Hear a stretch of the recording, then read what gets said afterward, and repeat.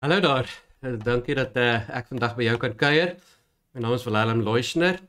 Ehm um, as jy vandag dalk die eerste keer so saam kuier, baie welkom. Mag jy werklik die Here se liefde en vreugde en vrede ervaar. Baie welkom by Interbank vir almal van julle. Mag julle 'n wonderlike samekoms, byeenkoms, gesinstyd, familietyd hê waar jy ook al is.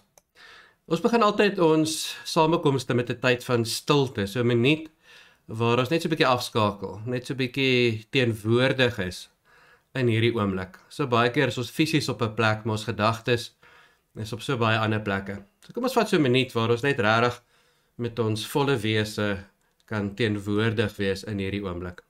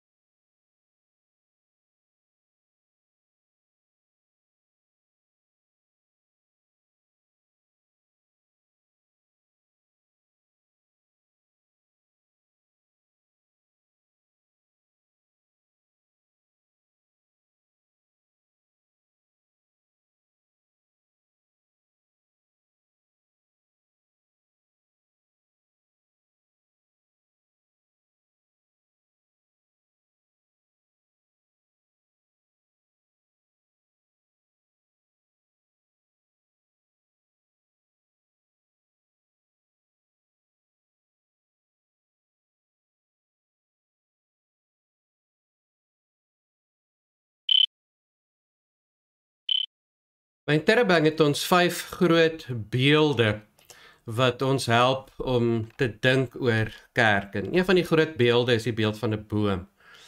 Um verskeie kere word die boom as 'n beeld in die Bybel gebruik. Die boom leer ons verskeie dinge. Vandag net drie gedagtes. Die eerste, die boom herinner ons om te groei waar ek geplant is. Um miskien is my grond nie ideaal nie en my son is nie ideaal nie en ek is dalk nie op die regte plek in my oë nie. Maar kom ek is oortuig dat die Here my geplant het. Kom ek groei daar. Kom ek groei diep. Ek groei in my verhouding met die Here. Ek laat my wortels sterk wees en kom ek groei wyd. Kom ek groei ver in mense se lewens in. Kom ek dra goeie goeie vrug. Want uiteindelik is dit wat dit beteken om 'n koninkrykslewe te leef. 'n koninkrykslewe is 'n lewe waar ek ehm um, vrug dra. Dis 'n lewe waar ek aan die een kant 'n disipel is, leer om my lewe te leef soos Jesus my lewe sou geleef het. Dieper groei, wortels groei. Maar aan die ander kant om ek 'n apostel te wees, om wyer te groei, om in hierdie wêreld in te gaan. Om 'n gestuurde te wees wat vrug dra, wat my lewe leef soos Jesus my lewe sou geleef het as hy ek was. En ons doen dit aan die hand van ons geloofsbelijdenis. Ons glo dat daar net een God is. Ons glo dat hierdie God bestaan uit drie persone, Vader, Seun en Heilige Gees. Ons glo dat God die Vader in ons woon en hy versorg. Ons glo dat God die Seun Jesus Christus in ons woon en hy versoen. En ons glo dat die Heilige Gees in ons woon en hy vernuwe ons. Ons glo dat die Bybel hierdie een God se heilige skrif is. Die Bybel leer ons dat Jesus aan die kruis vir ons sondes betaal het reeds, dis slag gedoen. Ons leer, ons glo, ons is oortuig dat Jesus aan die kruis die dood, die duiwel, die sonde oorwin het. Ons is oortuig dat ons sondes reeds vergewe is. Ons is oortuig dat Jesus regtig dood gegaan het, maar dat hy weer opgestaan het uit die dood dat hy opgestaan het met 'n nuwe liggaam wat anders gelyk het, anders gewerk het. En dit leer ons, dit help ons om te onthou dat ons ook eendag gaan opstaan. Dat dood nie die einde van die lewe is nie. Dat ons eendag op die nuwe aarde saam met Jesus gaan lewe in 'n nuwe liggaam. Ons sou dit ons reeds ewige lewe het. Jesus sê dit vir ons. En daarom is die fokus van ons lewe nie hoe word ek gered nie. Is nie hoe gaan ek hemel toe as ek doodgaan nie. Die fokus van my lewe is hoe bring ek hemel op aarde? Ek is reeds gered. Hoe wys ek vir die wêreld wie God is? Hoe bring ek God se koninkryk? Hoe het ons mekaar lief soos Jesus ons liefhet en hoe het ons die wêreld lief? Ons weet eendag gaan God se koninkryk oor die hele aarde wees. Dis die einde. Ons weet God se koninkryk het reeds aangebreek en ons lewe om God se koninkryk te bring deur ons lewe. Ons lewe om hemel op aarde te bring. Hemel is waar God is. God ruimte, aarde is mensruimte en ons roeping is om deur wat ons sê, deur wat ons doen, ons ruimte deel van God se ruimte te maak. Plek waar God se wil geskied, plek waar God se koninkryk heers. En daarom vier ons elke week die maaltyd van die Here. Ons eet elke week saam. Iemand is nou die dag gevra um, om die Bybel op te som in 6 sinne, 3 vir die Ou Testament, 3 vir die Nuwe Testament. En hier is sy opsomming. Die Ou Testament. They tried to kill us, we survived. Let's eat. Die Nuwe Testament, I love you, I forgive you, let's eat. Die middeleeuse Franse teoloog Jean Leclerc het gesê, ehm um, Jesus is gekruisig omdat hy Jesus ate good food with bad people. Die eerste kerk het hierdie ter harte geneem. Hulle het elke week saam geëet. Hulle het elke week gevier dat ons vergewe is. Hulle het elke week bymekaar gekom en gesê ons is slegte mense, maar God het ons vergewe en hy nooi ons om saam met hom te kom eet. So kom ons nooi ander om saam te kom eet. En daarom ja, elke week drink ons wyn, drink ons sap, eet ons brood saam en ons onthou. Ons onthou dat ons vergewe is. Ons onthou dat God ons liefhet. Ons onthou dat ons is mense wat nog sonde doen. Maar God nooi ons nog steeds om saam met hom te eet en hy nooi ons om in hierdie wêreld in te gaan om sy liefde vir ander mense te bring. En daarom eet ons brood want brood herinner ons om in mense se behoeftes te voorsien, vir mense te sorg, om 'n seën vir mense te wees. En die wyn herinner ons om goeie nuus te wees, om vreugde te bring, om fees te bring. Christus kan nie deur die lewe gaan as die pessimiste en die negatiewe mense nie. Ons bring nie asyn na hierdie wêreld toe nie. Ons bring fees, ons bring partytjie, ons bring wyn. Kom ons vat 'n minuut waar ons onthou waar ons saam eet, saam drink, saam fees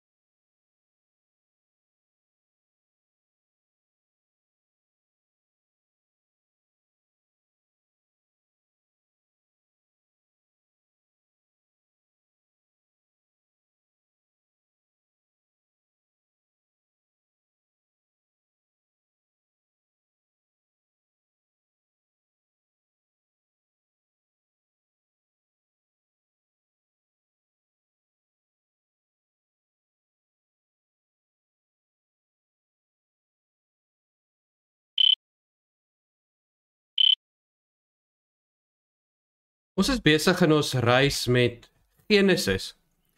En uh vandag gesels ons oor Genesis 28. Uh Genesis 28 het verlede week gehoor Abraham wat vir Isak moes gaan offer het. Hy eintlik leef Isak en Isak gaan trou, hy gaan trou met Rebekka. En hy het twee seuns, Esau en Jakob. Esau is die oudste. Hy's lief vir Esau. Hy verkies vir Esau maar Rebekka verkies vir Jakob, die jongste. Esau is bietjie 'n veldhou. Hy's 'n rowwe man. Hy's harig, hy's 'n jagter. Hy werk in die veld met die diere. Hy's 'n uh man man. Jakob is die een wat by sy ma in die huis bly. Hy werk in die kombuis. Hy maak huis skoon. Sy hande is sag. Hy werk nie buite nie, hy's nie in die veld nie. En ehm um,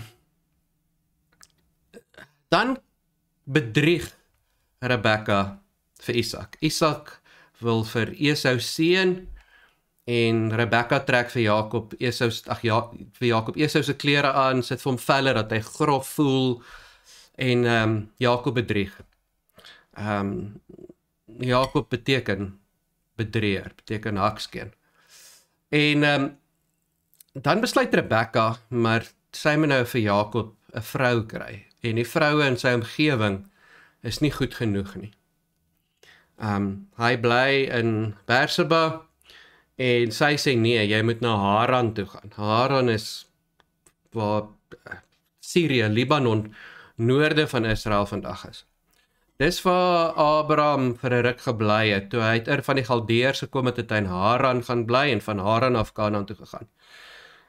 Rebekka sê vir Jakob, ehm um, die vroue in hierdie omgewing is nie goed genoeg nie. Ons moet vir jou vrou gaan kry in Haran waar ons vandag vandaan kom. En dan is ehm um, Jakob op pad na Haran toe. En dis waar ons by Genesis 28 kom. So kom ons lees saam en dan gaan ek vir jou kans gee om so 'n bietjie met die mense wat rondom jou is te gesels oor wat tref jou in hierdie gedeelte. Kom ons lees Genesis 28. Jakob is van Berseba af weg en het na Haran toe vertrek. Teen sononder kom hy by geskikte plek aan waar hy kon oornag. Hy neem toe een van die klippe van die plek en sit dit by sy kop neer. Toe gaan hy lê om te slaap. Die nag droom hy dat hy 'n leer sien wat op die aarde staan met die bopunt in die hemel. Engele van God het daarmee op en af geklim. Die Here het aan die bokant van die leer gestaan en vir hom gesê: "Ek is die Here, die God van jou voorvader Abraham en die God van Isak. Die grond waarop jy lê, gee waarop jy lê, gee ek vir jou en jou nageslag. Jou nageslag sal sal so baie wees soos die stof van die aarde. Hulle sal versprei na die ooste en die weste." en na die noorde en die suide. Al die mense op die aarde sal deur middel van jou nageslag geseën word. Ek sal by jou wees en jou beskerm waar jy ook al gaan. Ek sal jou weer terugbring na hierdie land toe. Ek sal jou nie verlaat nie, maar doen wat ek beloof het.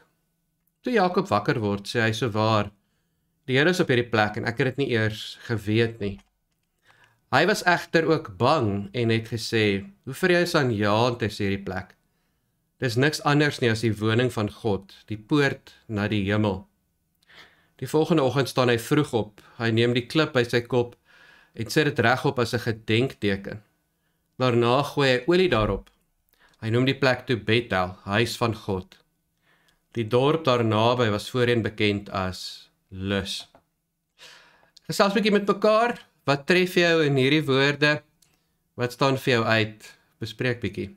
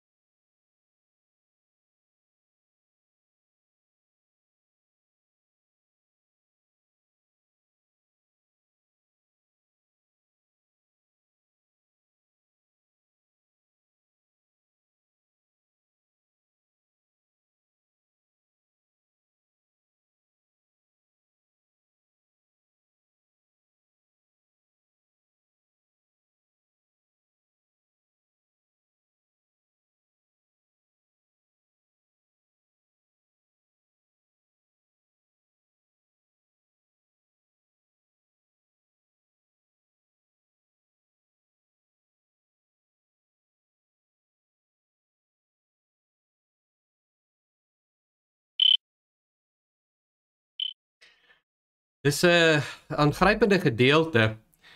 'n Gedeelte wat ehm um, ons baie tref en baie laat oordink. Kom ons reis 'n bietjie deur hierdie gedeelte. Kom ons kyk so 'n bietjie wat presies is hier aan die gang. Die eerste wat aangrypend is is dat Jakob gaan ver weg na 'n plek wat hy nie ken nie om 'n vrou te gaan kry. Sy wêreld se omgewing is nie goed genoeg nie. So baie van ons is vandag ook daar.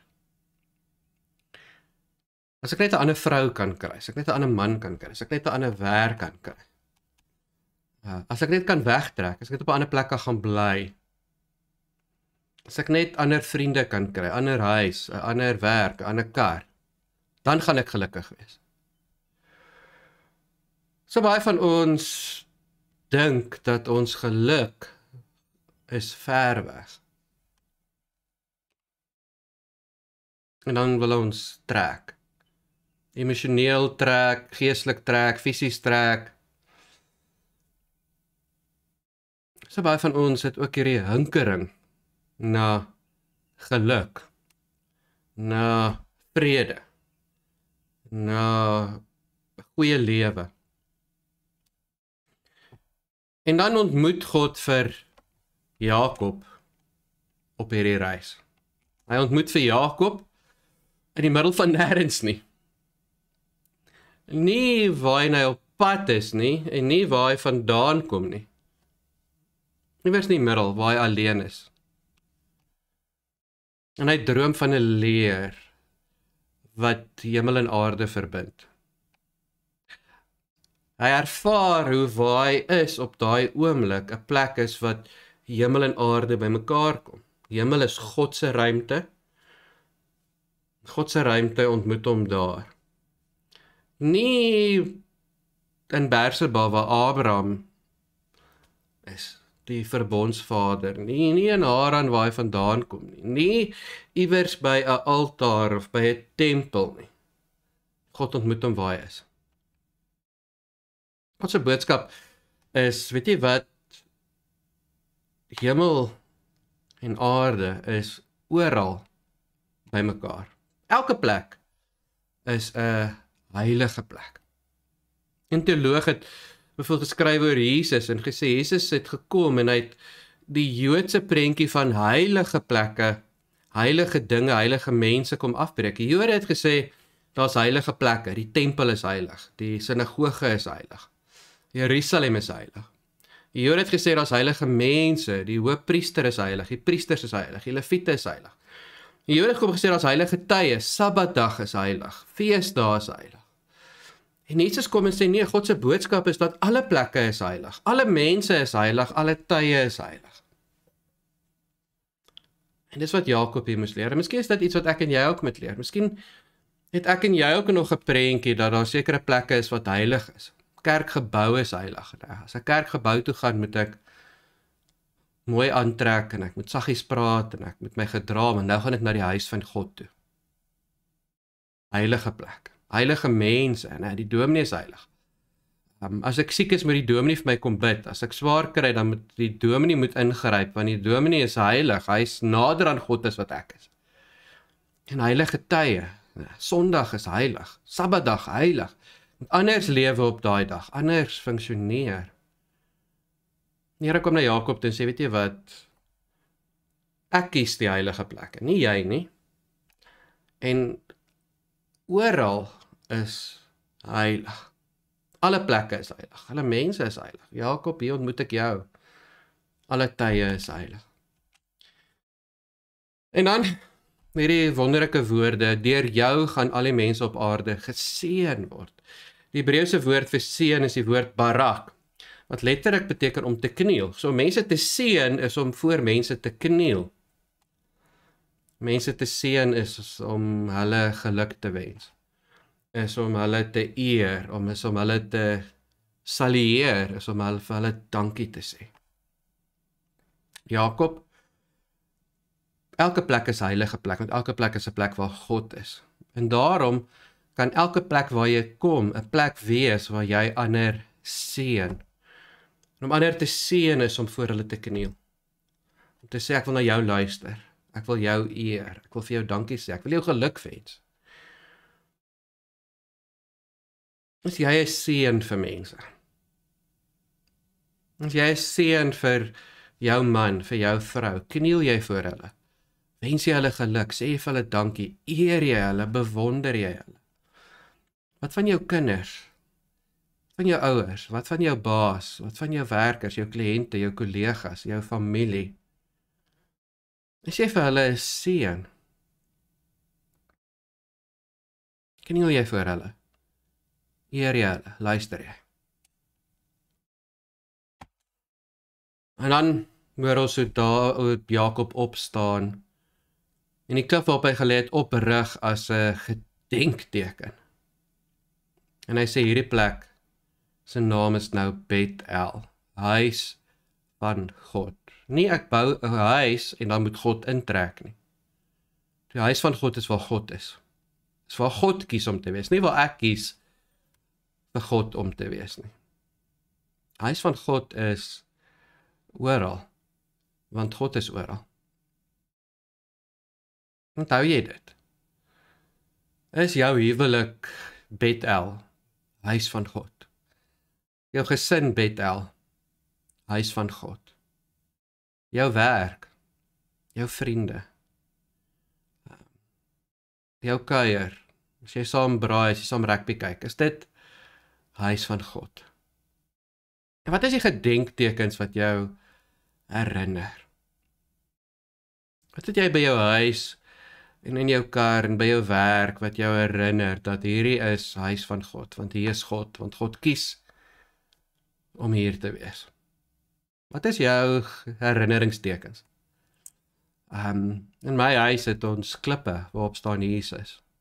En op my voordeur hang daar 'n uh fotos van ons as gesin met woorde wat sê ek in my huis sal die Here dien. As ek by my deur inloop, dan herinner dit my hierdie is huis van God, hierdie is Bethel. Watter gedenktekens het jy? Wat gee vir jou kinders om hulle te herinner? Wat draai jy saam met jou na jou werk toe? Wat jou herinner, maar hierdie is huis van God want hierdie is waar God is. Want God is oral. Wat is die boodskap? Die boodskap vir my is in eerste plek onthou God is oral. God kies waar hy wil wees en hy kies om oral te wees. Hy's nie iewers in 'n gebou nie. Daar's nie heilige plekke en ek moet soontoe gaan om God toe te gaan nie. Ek gaan nie na die huis van God toe nie. Huis van God is oral. Huis van God is waar hemel en aarde bymekaar kom. Hemel en aarde kom oral bymekaar. En 'n groot deel van my lewe se fokus is hoe ervaar ek God in hierdie oomblik? Hoe ervaar ek hemel in hierdie oomblik en hoe bring ek hemel? Ek bring hemel deur 'n seën te wees, deur te kniel, deur ander te eer, deur na hulle te luister, deur vir hulle geluk te wens, deur vir hulle dankie te sê. Deur vir hulle te wys op hoe wonderlik hulle is, hoe spesiaal hulle is. Ek bring hemel deur my woorde, deur my dade wanneer ek verander seën. Wat beteken dit om geseënd te wees? So baie van ons dink geseënd wees beteken geld, goed en gesondheid en dan ervaar ons dat ons nie geseënd is nie. Want ek het nie genoeg geld nie en ek het nie genoeg besittings nie en ek het nie genoeg gesondheid nie. En dan gaan soek ek dit iewers anders. Ek sal gelukkig wees as ek net meer geld het. As ek net 'n beter huis het, 'n beter kar het, as ek net 'n beter werk het, as ek net 'n ander vrou het, as ek net 'n vrou het, as ek net 'n man het, as ek net 'n meisie het, as ek net 'n ou het, as ek net 'n vriend het, as ek net dit het. Is dit wat dit beteken om geseënd te wees? Kan ek en jy 'n seën vir ander wees, nie deur vir hulle geld, goed en gesondheid te gee nie, maar deur voor hulle te kniel en te eer, te luister en dankie te sê kan ek elke oomblik van my lewe Bethel maak, huis van God. Weet my man, my vrou dat ons huwelik is Bethel. Weet my kinders, my ouers dat ons huis is Bethel? En wat doen ons as 'n gesin om dit te skep? Hoe sorg ek dat my kar Bethel is en my werk Bethel is en my skool en my universiteit en my college dat my vriende en my familie Bethel is. Kan ek gedenktekens oprig? Iets wat ek sal met my dra. Iets wat ek by my het om my te herinner. Wat tref jou in hierdie woorde? Gesels bietjie met mekaar, dink bietjie. Wat sê die Here vandag vir jou?